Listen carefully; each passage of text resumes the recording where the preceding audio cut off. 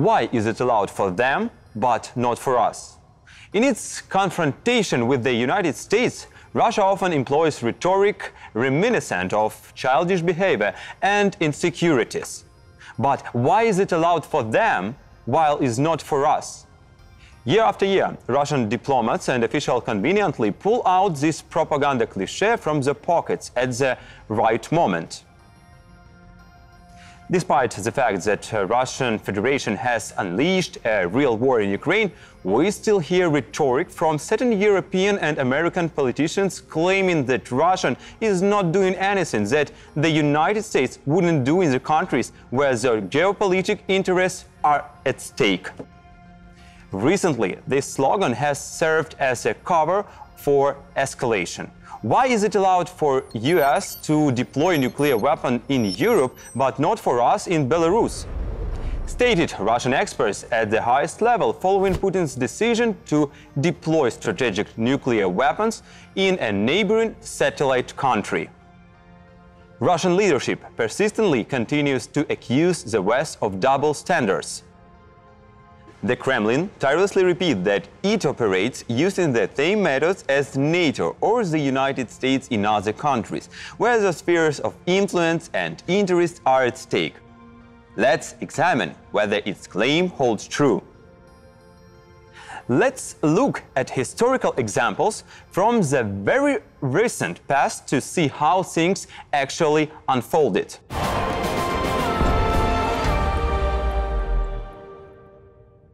On the night of August 2, 1990, the regular army of Iraq invaded neighboring Kuwait and by the end of the day captured its capital.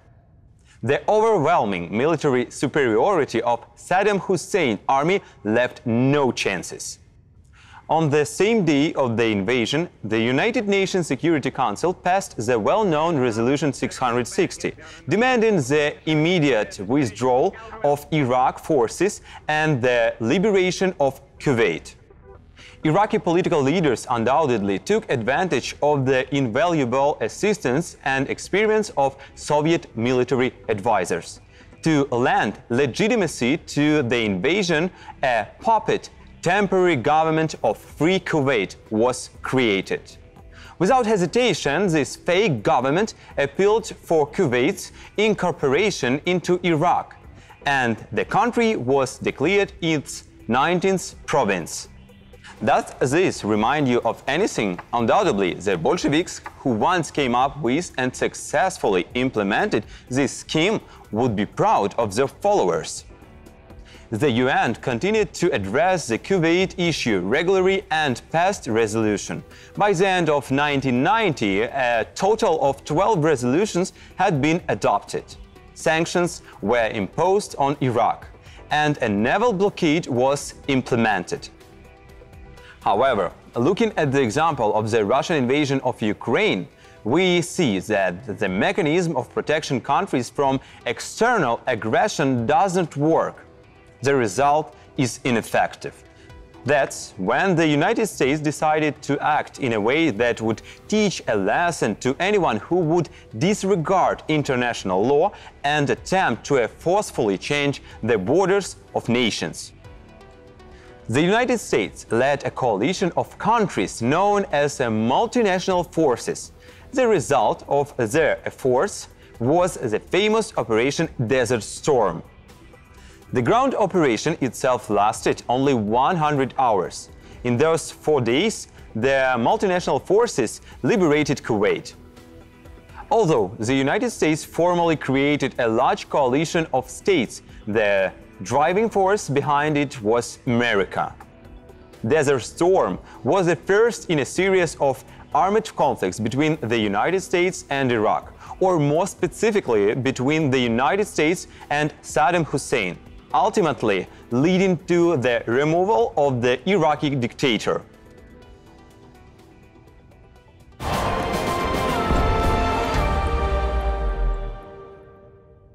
However, the United States did not act as an aggressor, violating international rules and norms. Numerous attempts to persuade Iraq to negotiate and peacefully resolve the crisis failed. In November 1990, the Security Council adopted another resolution regarding Iraq. This time it was an ultimatum the occupation of Kuwait must cease within one and a half months. If this uh, didn't happen, the UN granted the multinational forces the right to conduct a military operation and liberate Kuwait from occupation. In this case, the legal basis for initiating military action against Iraq was the Security Council resolution. It was not an aggressive war, but a war for the liberation and restoration of Kuwait's independence. By the way, both before and after the Gulf War, the United States preferred to act not alone but with the support of other countries, creating international coalitions. Kuwait is liberated. Iraq's army is defeated. Our military objectives are met. And it was nothing that the speed, nature, and results of the Gulf War are much more akin to a special military operation than to what is happening in Ukraine today.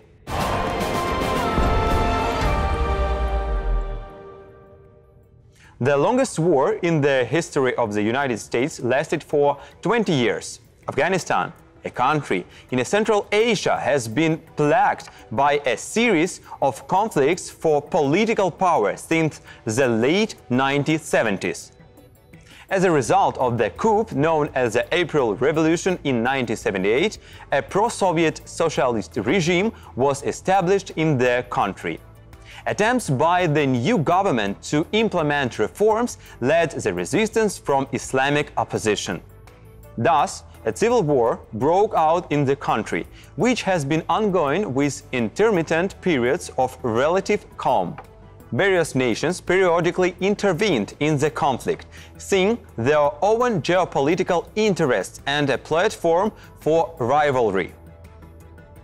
The Soviet-Afghan war lasted for 10 years. The Taliban fought against the NATO military contingent and later the United States for 20 years. During the 10-year gap between those conflicts, Afghanistan became one of the most dangerous countries, a hub of global terrorism.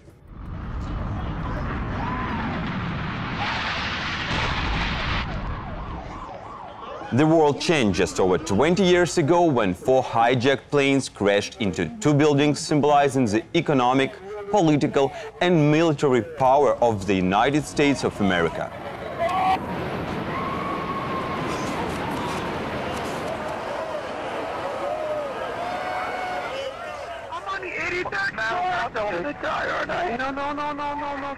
The terrorist attacks of the 9-11 2001 remains the largest attack and its consequences are still felt today.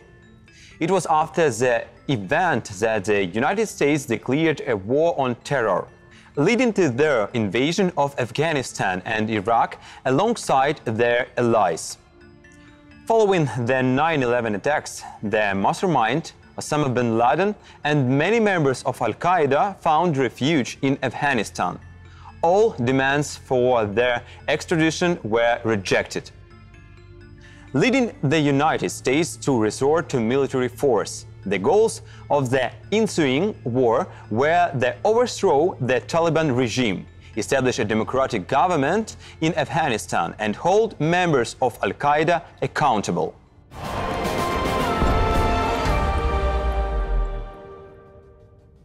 Less than a month later, in early October 2001, the first airstrike targeted Taliban military facilities and the military operation began.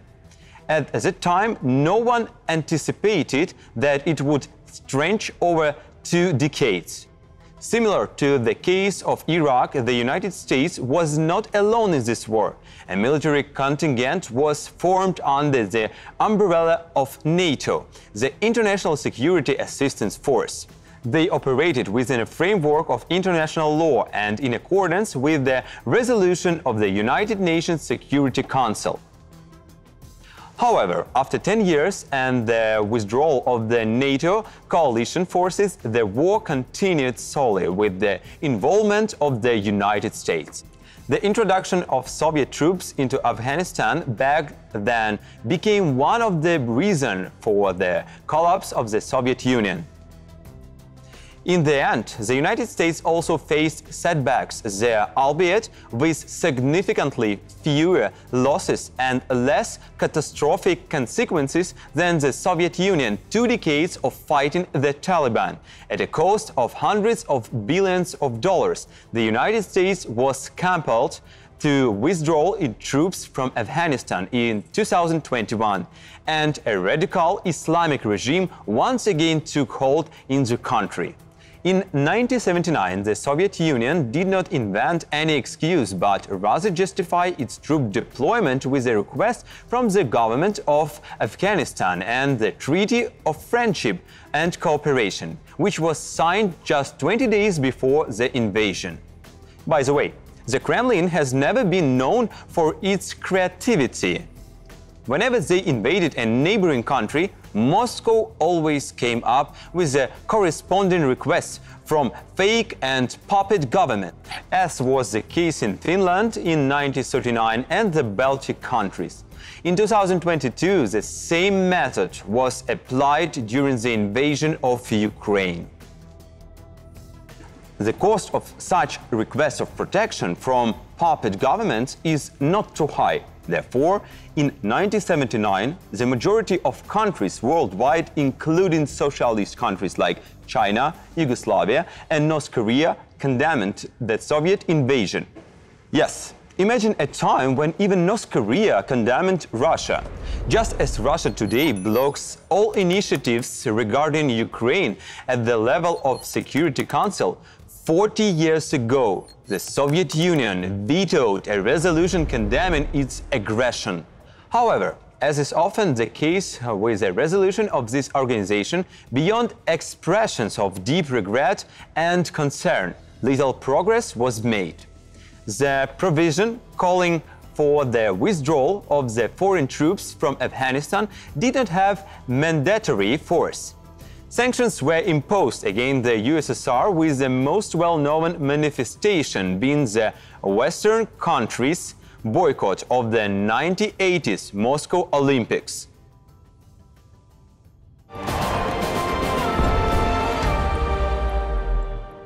In 2011, a civil war broke out in Libya, in which NATO intervened. However, in this case, the military intervention was sanctioned by a resolution of the United Nations Security Council, aimed at protecting civilian population and classified as a humanitarian intervention. The thing is military force can be used to prevent humanitarian catastrophe or genocide against the local population by a foreign state. The concept of humanitarian intervention was applied to justify the intervention in Libya.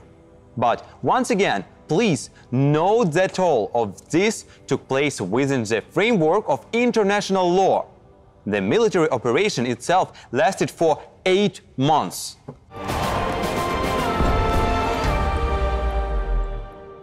Yugoslavia, spring of 1999. NATO conducted a military operation called Operation Allied Force. Military targets, airfields, bridges and factories were subjected to bombing. The reason behind this was the ethnic cleansing during the war in Kosovo. This was the first military operation conducted without direct approval from the United Nations, meaning without adoption of corresponding resolution. This sparked extensive uh, debates about the legality of NATO's action. The alliance refused to legitimize its actions throughout the UN because it rightly believed that Russia and China would veto their actions. Therefore, military actions began in April 1999 under the pretext of humanitarian intervention. The UN Charter, which prohibits the use of force without Security Council authorization except in self-defense, was ignored. However, UN Secretary General Kofi Annan supported NATO's action, starting that the use of force could be justified to restore peace. Russia, always opposing NATO, submitted a draft resolution calling for an immediate cessation of bombings and condemning the allies' military actions.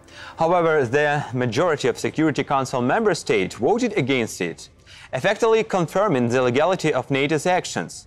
In June, a resolution was adopted that retroactively sanctioned the international military presence in Yugoslavia.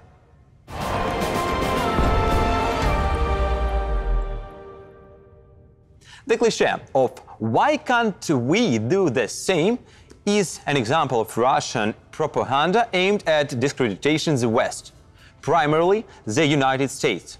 Russia unleashed a full-scale war against Ukraine under the pretext of protecting the Russian-speaking population of Donbass.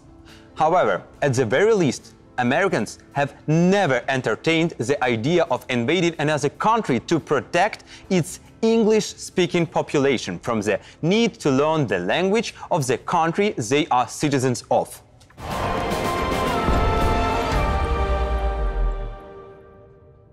The Vietnam War served as a vivid example that America is not exempt from learning lessons from the past. The war in Vietnam was indeed a conflict between North and South Vietnam, similar to the situation in Korea, the Soviet Union and other communist allies supported the North Vietnam, while the United States and anti-communist forces naturally stood on the opposite side. However, while the Soviet Union exercised caution and refrained from getting directly involved in full-scale military conflict on the Korean peninsula, the United States became deeply involved in Vietnam. After losing nearly 60,000 lives and uh, with 150 wounded over the course of eight years, American troops were withdrawn from Vietnam. Those demoralized soldiers did not always understand the purpose of reasons for their involvement in that hot Asian country. The American government and society found the strength to tell the truth. They did not label defeats as a victory and did not invent euphemism to cover up their mistakes the United States recognized that it got involved in a war that was not its own and suffered a defeat. The Vietnam War became a tremendous tragedy for both the Vietnamese and American people. Russia, like any other country, can also learn from history. It's important to acknowledge mistakes, learn from them, and strive for peaceful and diplomatic resolution of conflicts in order to prevent tragedies like the Vietnam War.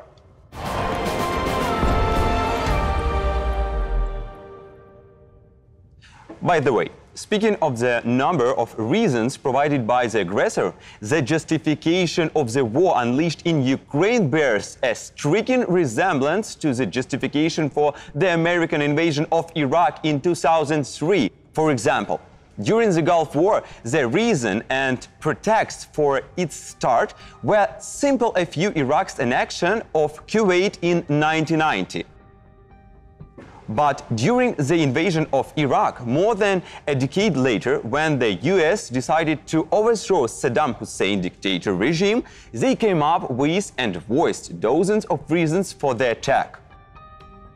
We all remember Colin Powell in the UN Security Council, holding up a vial supposedly containing a sample of weapons of mass destruction from Iraq. It later turned out to be a fabrication. In addition to the development of banned weapons, Iraq was accused of collaborating with terrorists, particularly with Al-Qaeda. In the case of Ukraine, the aggressor country put forward more than a dozen justifications.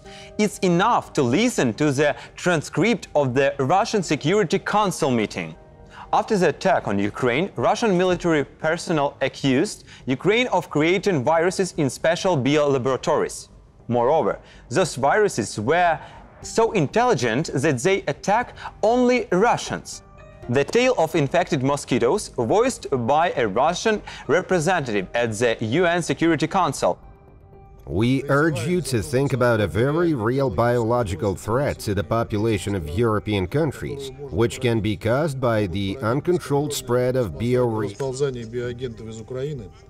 I know that you expect me to re respond, but we're not going to give any more airtime to the lies that you're hearing today. It's beneath this council. Are in the same category of fabrication that Russian propaganda produces in large quantities.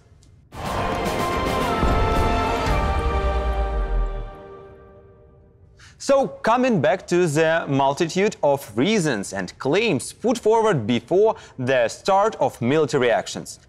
This is usually due to the fact that the country political leadership itself cannot find sufficiently weighty justification for starting a war.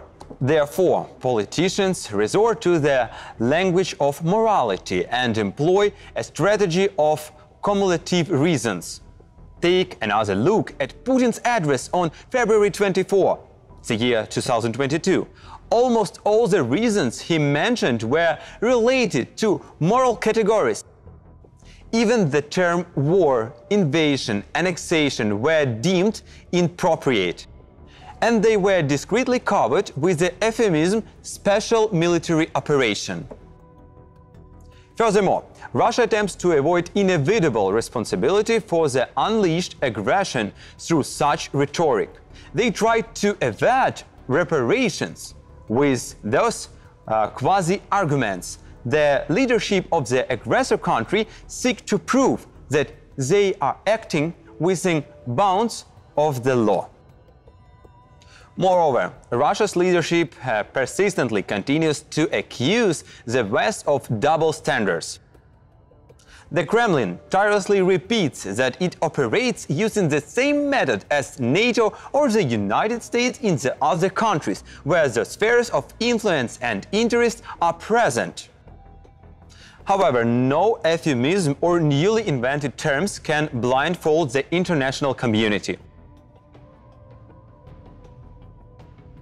The world understands that Russia unleashed an unjust aggressive war against Ukraine. Its goals include the annexation of the country, the destruction of Ukraine as a state, the denial of Ukrainians as a separate nation, and the assimilation of them with Russians.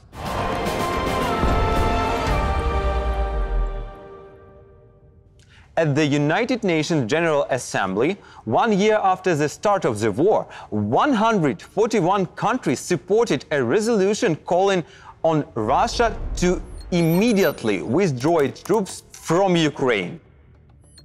None of the military campaign conducted by United States have ever prompted the adoption of such direct, sharp, and condemning resolution by the UN.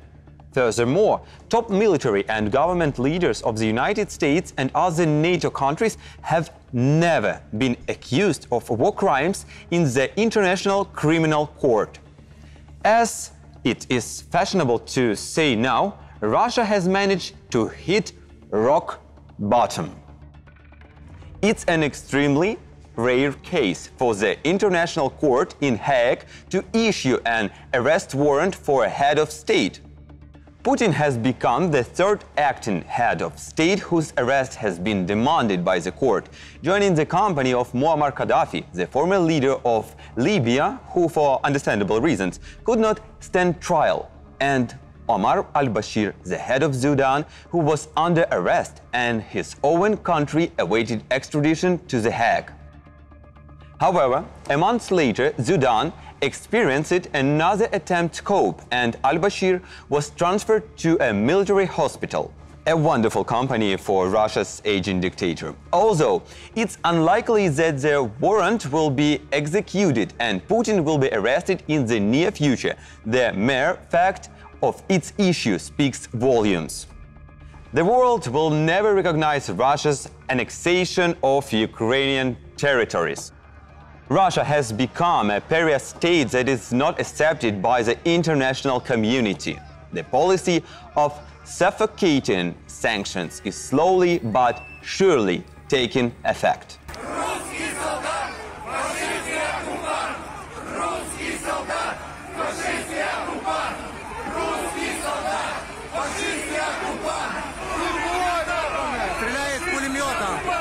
Remember, had there ever been a case in a history where sanctions were imposed on the United States or Western countries for unleashing an aggressive war? We are unlikely to recall such an instance.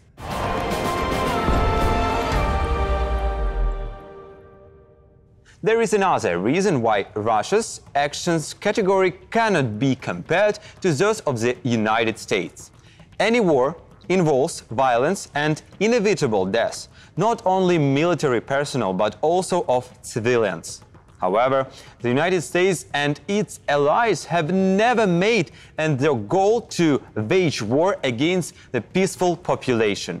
No war conducted by the United States has been accompanied by the same extent of war crimes, violence, looting, and terror as Russia's wars. In Ukraine, the aggressor have committed numerous war crimes, all of which well documented. Russia has chosen a position of complete denial regarding the atrocities it has committed. Those suspected of involvement and those crimes not only go unpunished, but are often openly celebrated and awarded high state honors, creating a cult around executioners and killers.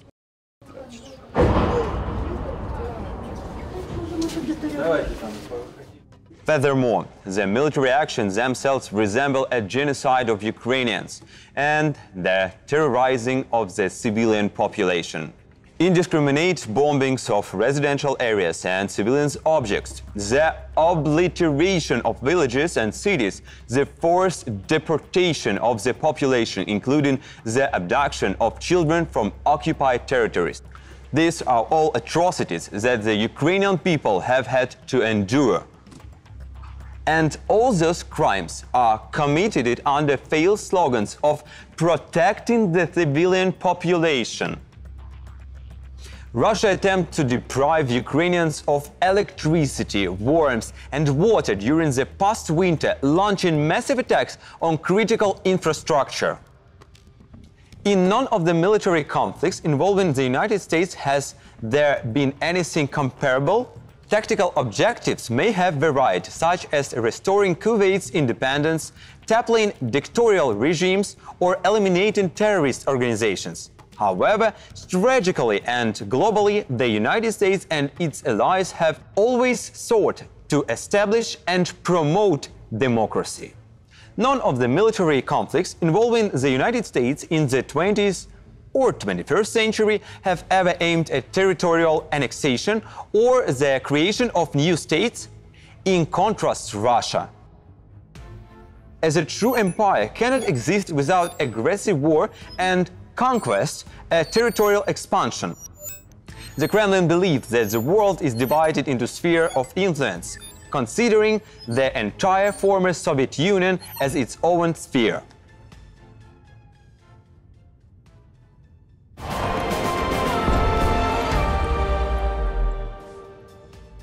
And in conclusion, a joke for those Russian patriots who continue to promote false narratives that supposedly grant America something greater than what is allowed within the framework of international law. From a conversation between two Russians.